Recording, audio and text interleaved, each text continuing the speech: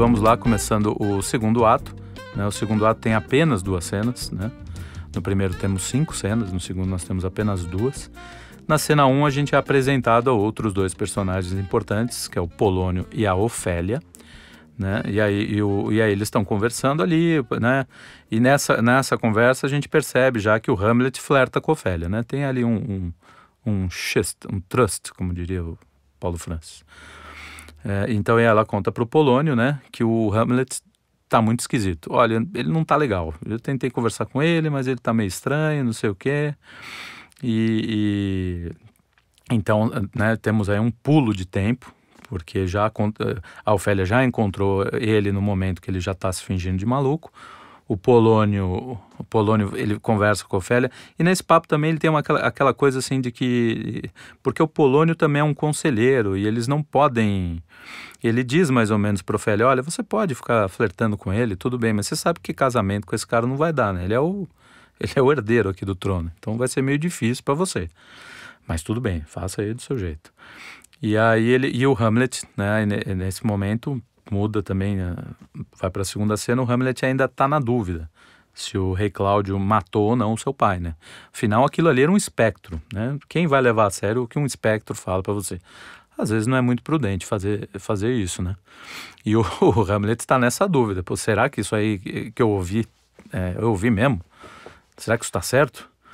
E aí começamos a segunda cena do ato 2, o Hamlet tem ideia, né, ele fala assim, eu vou... E é, é engraçado, né, porque a cena 2 ela é extremamente longa, entram vários personagens, né, inclusive eh, outros que, são, que serão muito, muito importantes na cena, que são os, os mensageiros do rei, né, que é o Guildenstern e o Rosenkrantz.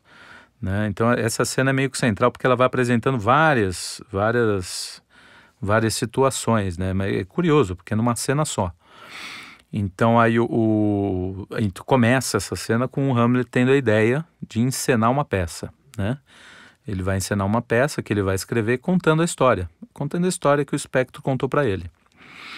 E aí é interessante, né? Porque a gente vê o poder da arte, né? Será que é, a arte é tão desnecessária assim, né?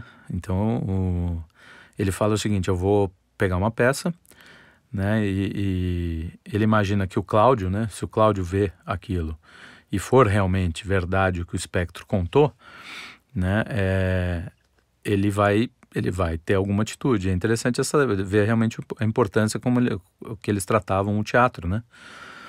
É, como algo que pudesse nos revelar a nossa própria vida, né? Então é uma, uma, uma faceta da arte que conta muito, né? Como se nós nos víssemos num espelho. E aí ele diz o seguinte: Na frente de meu tio, simule em pleno palco a morte de meu pai. Vou vigiar suas feições, esfolhar fundo as chagas. Se ele estremecer, saberei meu caminho. Então a cena é uma cena longa, enfim, mas isso é o ponto central dessa cena, é a ideia de que o Hamlet vai, vai encenar uma peça, para ver se ele pega o Cláudio com a boca na botija, né, no pulo.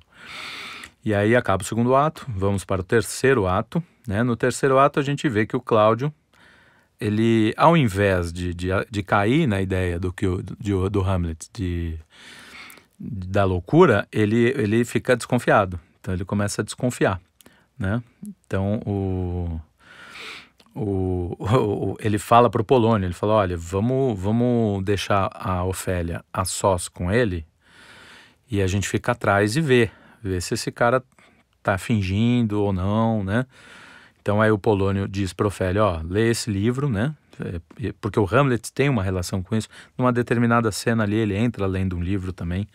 Eu esqueci até de, de marcar aqui, que é uma cena interessante, porque ele mostra qual era a personalidade dele, né? É, é, é muito, muito curioso, porque no teatro você não tem tempo para para para descrever a pessoa. Então são, são cifras, né? E a, uma das cifras usada é essa, né? A leitura do livro. Então mostra que ele é um cara mais introspectivo.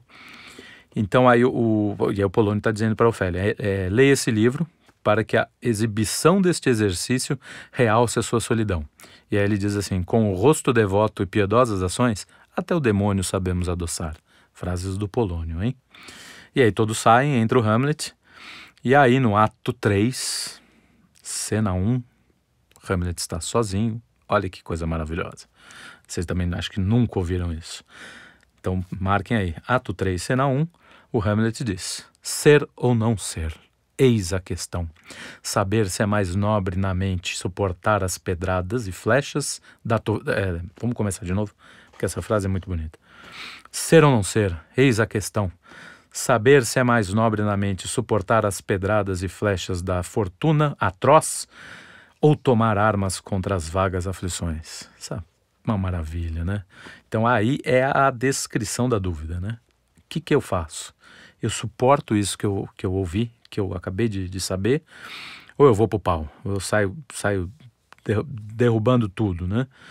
O Hamlet, como a gente já percebeu, ele não é um cara muito voltado a isso, né? Ele não é um, um, um guerreiro. Ele é um homem tranquilo, é um estudante. Né? Estudante ali naquele tempo também tem outra conotação, é estudante de verdade, né? Não é essas porcarias que a gente vê hoje. Enfim. Então aí ele começa a conversar com Ofélia, e aí, mas ele, aí, aí ele, ele, ele abusa das bobagens, né? Ele só fala besteira. E é muito divertido, porque ele vai né, falando um monte de asneira, assim. E aí quando ele sai, a Ofélia tá desconsolada, né? E ela fala assim, que mente nobre aniquilada. Né? Até então, lembremos, ninguém sabe os planos dele a não ser Horácio, né? Então ela, ela fica, fica maluca, né? E o rei ouviu tudo, né? E aí, então, o rei não, ele não, quer dizer, não é que ele não cai, mas enfim, ele fica, ele olha, aí ele diz, ele diz uma frase assim: a loucura dos grandes exige vigilância. Então ele tá, ele tá achando que, que o, aquilo ali tá estranho, né? Vão, tá meio desconfiado. Aí na cena 2, né? Aqui eu já começo a, a, a estabelecer cena por cena, né? É o terceiro ato. Na cena 2 a gente tem a representação da peça, né? E aí, depois da encenação, depois da representação, o Guildenstern, que era um dos mensageiros, ele conta que o rei se retirou e está um tanto destemperado. Aí o Hamlet tem a certeza de que o rei Cláudio matou o pai dele, né? É... Então o, o, o, Hamlet ali toma contato e fala, desgraçado, foi ele mesmo, né? O Guildenstern falou, ele tá meio, ele saiu um pouco, um pouco ruim da peça e tal. É outra coisa, né? Voltando ao, aos, aos erros, falhas de roteiro, né? É, ele precisou do Guildenstern para descobrir que o rei tinha se afastado, né? Ele não estava olhando, pro, ele não disse que ficava olhando, mas tudo bem, aí a gente perdoa, porque às vezes o cara se entretém na peça, perdeu um, perdeu um. Ninguém consegue ficar o tempo inteiro olhando, sem também dar na cara, né? Porque o rei pode. Eles, eles provavelmente estavam longe. Então aí é só. só enfim. Mas o, o ele, aí o Hamlet tem a certeza, né? E na cena 3, a gente tem a certeza, né? Porque uma coisa é, é o que está sendo contado, o que está sendo narrado, mas a cena 3 deixa claro né, que, ele, que ele matou realmente, porque ele diz, né? Meu crime está infecto. Então aquilo realmente abalou ele. Né? O Hamlet conseguiu o objetivo dele, que era pegar o Cláudio com a boca na botija. Né? E, aí ele, ele, e aí é que vem uma, uma parte interessantíssima da, da peça, que aí a gente vê, a, a, aí entra, né? porque o, o Shakespeare conta-se, né? ele era um cara católico, de família católica, então ele era, é, ele tinha todos esses valores cristãos dentro dele, né? O, o que acontece é que ele vivia na Inglaterra da igreja anglicana, então ele tinha meio que, né, dar uma, dar uma disfarçada ali. E, e nas peças dele, muitas das peças dele, ele deixa, é, ele deixa implícito, né? Ele não, ele não deixa a coisa explícita, né? De, de, das suas raízes, dos seus valores cristãos, enfim, mas ele, ele deixa implícito algumas coisas ali. E, numa, e aí, nessa cena, é muito interessante que, assim, ele vê o Cláudio rezando. Ele vê naquele momento que o Cláudio está rezando, né? E aí é o momento perfeito, cara. Só tá ele o, e o Cláudio né? Só que é isso, lembra? O Hamlet não é esse assassino cruel, né? É, não é um homem mau, não é um homem mau. Uma chave de leitura que o próprio Eliot dá, é, inclusive até é, contradizendo é, um pouco daquilo mesmo que ele falou, que as peças são soltas, enfim. E na verdade, o que o que acontece é que o, o Hamlet ele está tendo contato com sentimentos que ele não consegue entender. Né? E esses sentimentos envenenam a sua alma. Né? É, tudo isso vai deixando e, e, paralisam as suas ações, né? O sujeito envenenado, a gente sabe como, como é horrível você você ficar você se envenenar por alguma coisa, né? É, muitas vezes que você não tem certeza, ou mesmo tendo certeza, é, é uma situação né, um tanto quanto quanto catastrófica para você, né? Trágica mesmo porque você se paralisa, aquilo vira um negócio, uma certa uma espécie de obsessão.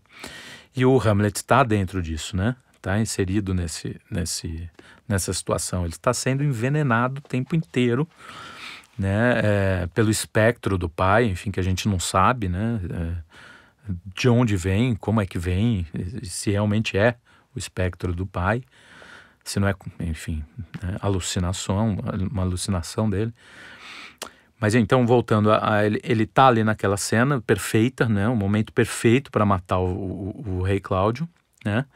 Só que ele não tem esse vigor assassino. Então ele começa a pensar que aquele não é o momento perfeito para o crime. Por quê? Porque o Cláudio está rezando. Então ele pensa o seguinte: se ele apanha no instante em que ele purga a sua alma, preparado e maduro para a transição, não se vingar, ele não vai se vingar do pai né? É, que não teve, o pai dele não teve a mesma, a mesma chance do, do Cláudio de se confessar na hora da sua morte. Então o Cláudio estaria em vantagem nesse sentido.